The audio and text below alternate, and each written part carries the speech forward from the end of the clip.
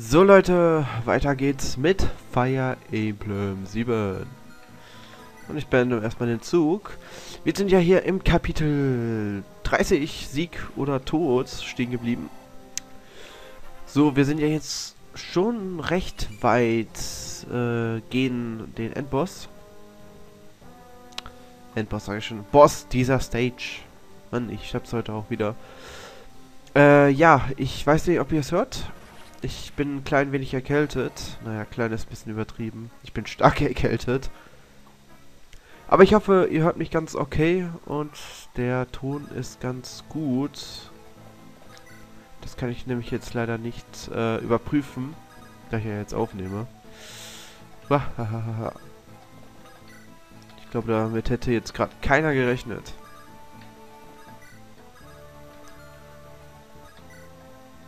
So, wir sind ja so gut wie am Ende. Jetzt jedenfalls Richtung ähm, dem Endboss endlich diesem Boss dieses Kapitels den äh, Tod zu geben.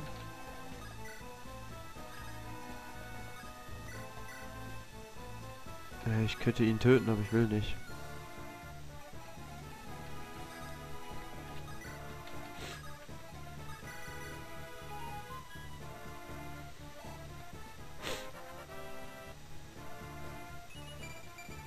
Ja gut, das war jetzt überflüssig, ich weiß.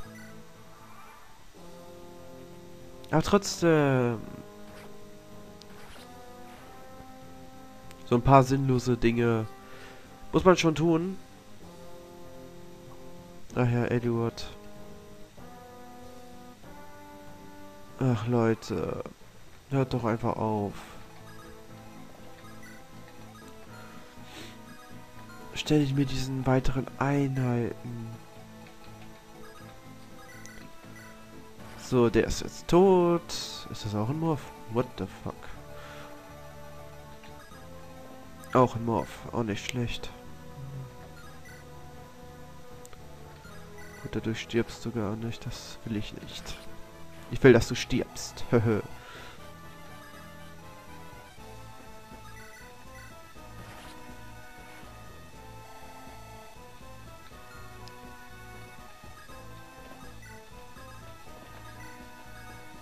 Wir reiten aus, äh, um Lim Stella ähm, das äh, Leben rauszureißen. Na gut, sie ist sowieso ein Morph, also es ist, kann es uns wirklich egal sein.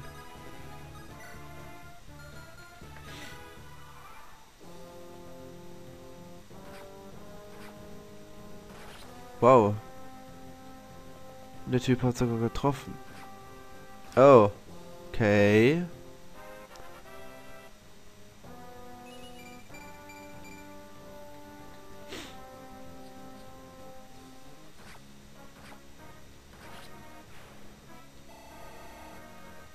Und Hef trainiert jetzt die ganze Zeit.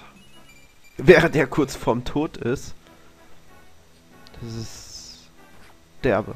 Und die treffen irgendwie alle. Was ist das denn für eine Scheiße? Ja gut, dann stirbt sie jetzt eben. Meine Güte. Bringt sie doch endlich um.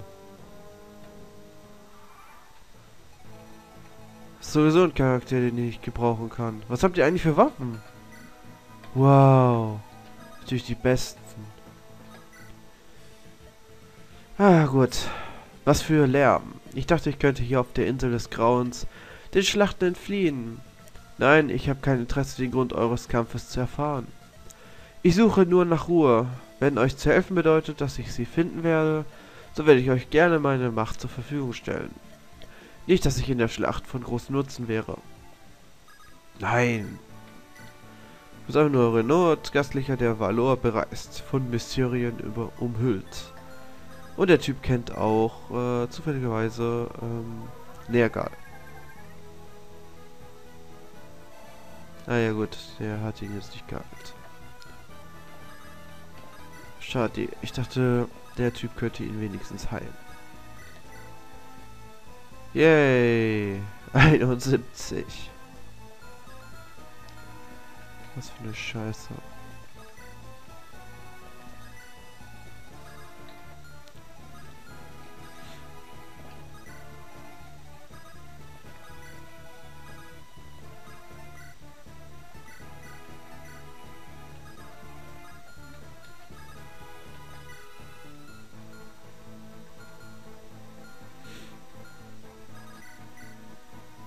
Die Stahlaxt.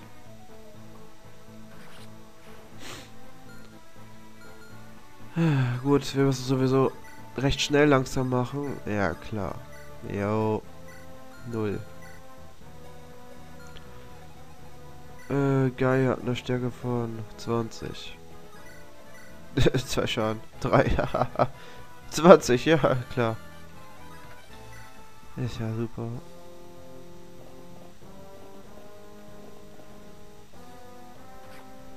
Ach, verdammt.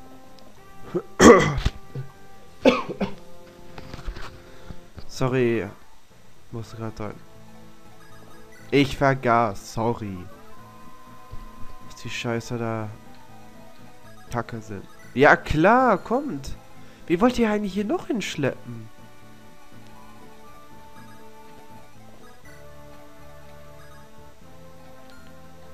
Also so langsam reicht's ein bisschen.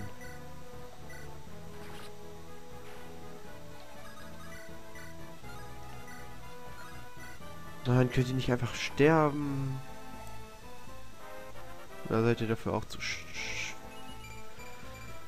Ah, gut. Nicht aufregen. Bringt eh nichts. Der Typen da vorne, sie killen wir schon irgendwie auf irgendwelchen geilen Wege.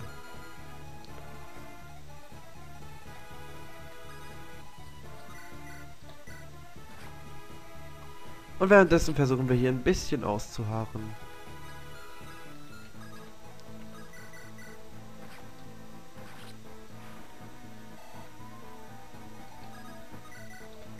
Für ist Renault auf jeden Fall nicht schwach. Nur wenigstens etwas.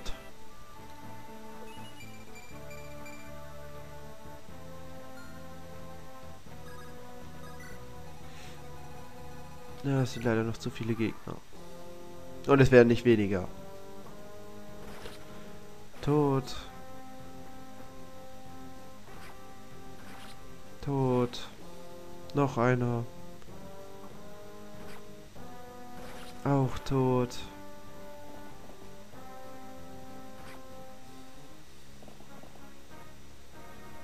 Wow, jetzt kommen sie mit Bumm. Äh. Ja klar. Kommt jetzt, kommt jetzt immer wieder dieser Scheißer. Wollt ihr immer wieder ein bisschen spielen?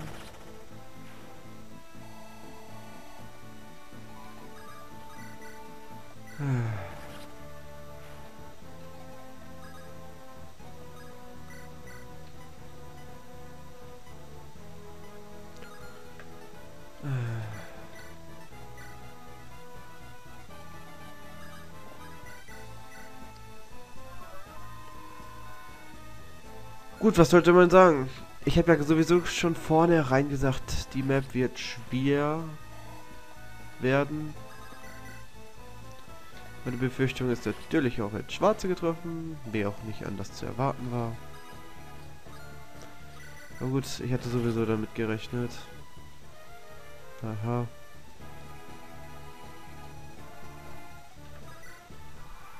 Nur die Weifenritter regen mich jetzt gerade am meisten auf.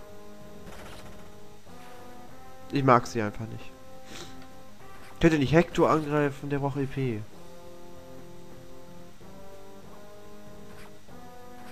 Ja gut, der Jut braucht EP. Der muss aber auch verdammt normal da oben. Ja gut, kam sowieso nicht so weit. Dann passt er doch schon. Level up. Level 5. Yay. Nichts Besonderes, aber gut, jetzt greifen wir endlich mal Lims Teller mit unserem Gewitter an. Ich nehme mir dein Leben und deine Quintessenz. Und ich habe keine Ahnung, wieso diese Frau jetzt die Musik der Blackfang hat. Sie ist eigentlich keiner. Egal. Alles zum Wohle meines Meisters. Vielen Dank. Yay, hat getroffen. Und du konntest nicht machen. Mhm. Stufe 23. Ja, das sieht doch doch besser aus. So welche Werte wünsche ich mir doch hier. Und nicht so welche andere Faxen, ey.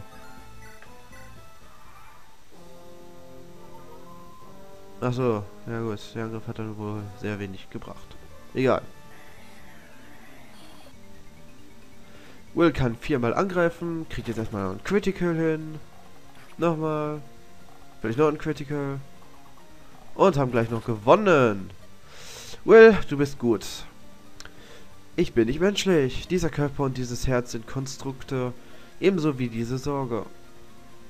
Äh, ja. Ich habe kein Wort verstanden. Egal, Will hat sie gekillt.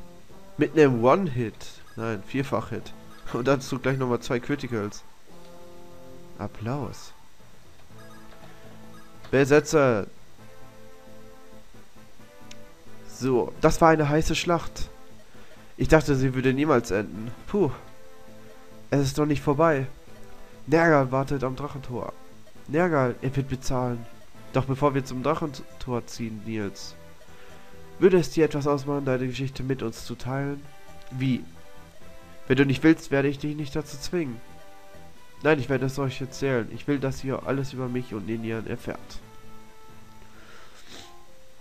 Sehr lange Geschichte. Vor einem Jahrtausend verjagten die Menschen uns Drachen aus dem Land, schickten uns ins Exil. Es gab keinen Ort, an den wir hätten gehen können. Nicht in dieser Welt. Also schritten wir durch das Drachentor in eine andere. Als wir diese Kluft in Raum und Zeit überquerten, gingen viele von uns verloren. Dennoch ertrugen wir die Strapazen dieser Reise. Auch dort stießen wir auf Menschen. Doch gab es ihrer nur sehr wenige. Es kam zu einigen Scharmützeln, doch letztendlich fanden wir ein Zuhause. Dort fühlten wir uns sicher, ja sogar glücklich. Doch einige von uns dachten an unser altes Zuhause. Und als sie es taten, erreichte uns seine Stimme. Ninian war ein Medium in der anderen Welt, ein Orakel. Sie saß im Drachenschrein. Ihr Macht war groß. Wir beteten im Schrein, als es geschah. Wir hörten eine Stimme, die uns durch das Drachentor rief. Es war die Stimme eines alten Freundes. Wir wussten, dass wir das Tor nicht öffnen durften um in diese Welt zurückzukehren. Wir hatten keine Ahnung, dass die Stimme niemand anderem gehörte als Nergal. Nergal? Doch dann geschah etwas Unerwartetes. Als wir das Drachentor öffneten und wieder äh, hierher zurückkamen, hatten wir fast alle unsere Stärke eingebüßt. Die Essenz, die doch in uns verblieb, war geringer als selbst die eines gewöhnlichen Menschen. Um uns selbst zu erhalten, um die Luft dieser Welt zu atmen, nahmen wir menschliche Gestalt an. Unsere Energien sammelten wir in einem Drachenstein. Doch unser Drachenstein wurde gestohlen. Nerga wollte ihn dazu benutzen, noch andere Drachen zu rufen, bis wir entkamen. Wir konnten nicht unsere Freunde durch unsere Dummheit verdammen. Verkleidet als Tänzerin und Bade waren wir auf der Flucht. Wir zogen von Land zu Land und so stießen wir vor einem Jahr auf Lady Lindes. Und die ganze Zeit über war Nergal hinter euch her? Warum habt ihr mir nichts davon erzählt? Ihr wart so gut zu uns. Wir wollten euch keine Probleme bereiten. Nachdem wir Lin in Kailin verließen, gerieten wir wieder in Gefangenschaft. Wir beschlossen, dass die einzige Möglichkeit zur Flucht darin bestand, unser Leben zu verkürzen. Dann trafen wir auf Lord Albert. Er war so stark, so gütig. Er wusste, was wir waren und was wir getan hatten. Und doch hat er uns nicht verachtet. Im Gegenteil, er hat versucht, uns mit Geschichten aufzumuntern. Geschichten von seiner Familie und seiner Heimat. Ninian und ich wir lauschten seinen Geschichten und empfanden Liebe für seine liebe Frau und seinen to Sohn. Die Ahnung, nein, dies Wort mag zu stark sein, aber wir fühlten, dass wir sein, dass sein Sohn es ist, der uns retten würde. Das war es, was wir fühlten. Deshalb, deshalb, Lord Eliot, ich glaube an dich. Selbst wenn Ninian uns verlassen hat, werde ich nicht aufhören, dich zu beschützen. Ich muss es tun. Das ist, das ist Let Ninjans letzter Wunsch. Es ist unser Wunsch. Lass uns Nergal aufhalten. Du bist der Einzige, der dies vollbringen kann. Nils. Lass es uns tun, Elwood. Er hat recht, es ist zu früh, um aufzugeben. Ich meine, wir stehen noch. Wir sind noch am Leben. Ihr alle... Ihr habt recht, meine Freunde sind hier bei mir. Keine Macht der Welt kann stärker als das sein. Gehen wir, das Drachentor erwartet uns. Dort lasst uns Nergals Ziele vereiteln.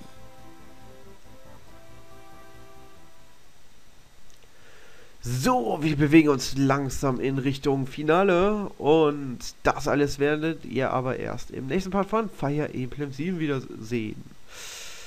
Bis dann, tschüss.